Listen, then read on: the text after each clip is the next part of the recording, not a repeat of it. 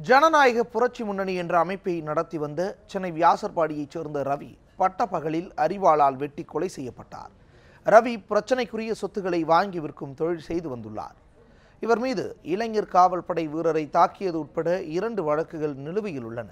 இன்று காலை சத்தியமூர்த்தி நகரில் இருசக்கர வாகனத்தில் ரவி சென்று கொண்டிருந்தபோது நான்கு பேர் கொண்ட கும்பல் அவரை வழிமறித்து சரமாரியாக அறிவாளால் வெட்டி கொலை செய்துவிட்டு தப்பி ஓடியது.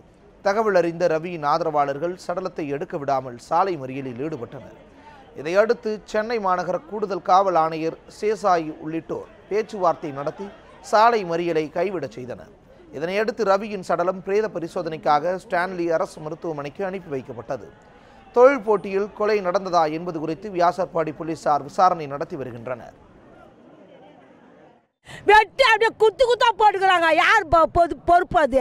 யார் பொறுப்பா? அரசாங்கம் பொறுப்பா இல்லை போலீஸ் பொறுப்பா? எதுவுமே கிடையாது. பொதுமக்கள் பயப்படுறோம். ஒன்றுமே இல்லாதவங்க. இப்போ நான் சொன்னால் என்ன வந்து வெட்ட வருவான்